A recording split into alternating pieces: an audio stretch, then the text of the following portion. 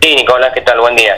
Eh, como vos lo decís, ya ha producido en las primeras horas de esta mañana eh, la detención de un menor de edad de 16 años aquí en la zona de Jesús María. Este procedimiento fue llevado a cabo por gente de la Brigada de Investigaciones de aquí de la Unidad Regional Departamental Colón, en base al hecho suscitado el, la madrugada del pasado domingo, eh, resultando herido de arma blanca a otro menor de 16 años.